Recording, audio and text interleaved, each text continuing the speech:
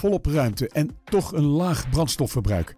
Dat krijgt u met deze goed onderhouden Honda van het bouwjaar 2012. Het interieur van deze auto is praktisch en comfortabel. De uitrusting bestaat verder onder andere uit 16-inch lichtmetalen velgen en parkeersensoren achter. Als speciale veiligheidsfeature heeft deze Honda bovendien automatische dimlichten.